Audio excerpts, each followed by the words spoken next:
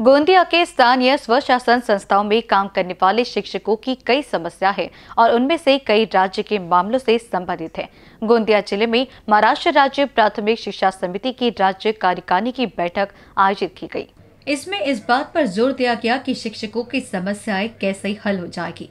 अनावश्यक कार्यों में उलझने से शिक्षक बच्चों से विमुख हो रहे हैं। ऑनलाइन कार्यों की विविधता के कारण शिक्षक बुनियादी शिक्षा से दूर जा रहे हैं। कई क्षेत्रों में शिक्षकों की अभी भी भर्ती नहीं की जाती है, जिससे शिक्षकों पर बहुत तनाव होता है और छात्रों पर भी प्रतिकूल प्रभाव पड़ता है। इस मौके पर कहा गया कि सरकार को इन विभिन्न समस्याओं पर चर्चा कर जल्द से जल्द पवित्र पोर्टल पर शिक्षकों की भर्ती करनी चाहिए और बेरोजगारों को मौका देना चाहिए। महाराष्ट्र राज्य प्राथमिक शिक्षण समितीची राज्य कार्यकारिणीची मीटिंग आज गोंदिया येथे होत आहे. राज्यातील अनेक जिल्ह्याचे जिल्हा पदाधिकारी या सभेला हजर आहे राज्य शासनाने जे आज शिक्षकांच्या आणि स्थानिक स्वराज्य संस्थांच्या शाळांच्या संबंधानं जी भूमिका घेतली आहे ती भूमिका निश्चितच समाजाच्या हिताची नाही आहे. राज्यात आज शिक्षकांची हजारो पदे रिक्त आहेत. गडचिरोलीसारख्या दुर्गम भागातील जिल्हा पलघरसारखा जिल्हा या ठिकाणी शिक्षकांची हजारो पदे रिक्त असताना पवित्र पोर्टलच्या माध्यमातून ह्या जागा भरल्या जात नाही. सातत्याने आंदोलन सुरू होत आहे. बेरोजगार मुलं आंदोलन करत आहे. पण शासनाची भूमिका या जागा भरण्याकडे ढकलती भूमिका आहे आणि ही भूमिकेला आमचा विरोध आहे. शासनानं तात्काळ सर्व जागा भरल्या गेल्या पाहिजे. तसेच वेगवेगळे प्रश्न विद्यार्थ्यांचे आणि शिक्षकांच्या राज्यात आहेत. गणवेश योजनेमध्ये झालेले बदल हे स्वीकार्य बदल नाही आहे. हे बदल भेद निर्माण करणारे बदल आहे.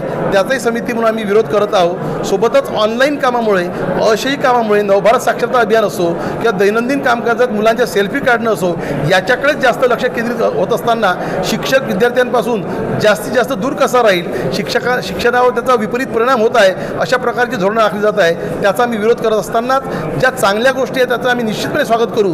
पण ज्या समाजाच्या विद्यार्थ्यांच्या हिताच्या गोष्टीनं चुकीच्या गोष्टी घडत आहे त्याचा आम्ही विरोध करत आहोत. शासनाचं स्थानिक स्वराज्य संस्थांच्या शाळांकडे शिक्षकांच्या मागण्यांबाबत असंच दुर्लक्ष कायम राहिल्यास पुढेही मोर्चे आंदोलनं आणि न्यायालयीन केसेस दाखल करायचा आमचा निर्णय आहे त्या पद्धतीने आम्ही करू. संघर्ष टाळण्याची आमची भूमिका आहे पण शासन संघर्ष टाळण्याची भूमिका म्हणजे लवचिक समजत असेल तर ते शासनानं त्या याच्या अंधश्रद्धेत राहून ती अंधश्रद्धाच आहे.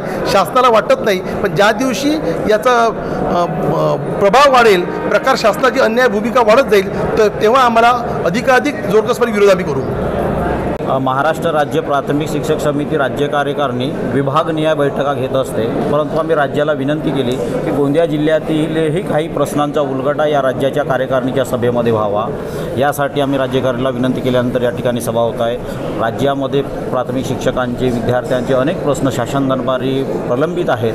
कुठंतरी प्रत्येक जिल्ह्यातील सर्व जिल्हाध्यक्ष येऊन त्या त्या जिल्ह्यातील प्रश्न राज्य कार्यकारिणीला मांडतील आणि राज्य कार्यकारिणी प्रामुख्याने पुढाकार घेऊन शासन दरबारी त्या सर्व समस्या मांडेल. यासाठी आम्ही या ठिकाणी गोंदिया येथे राज्य कार्यकारिणी सभेचे गठन केले आयोजित केलेलं आहे. एनबीसी न्यूज के लिए गोंदिया से अभिषेक भटनागर की रिपोर्ट।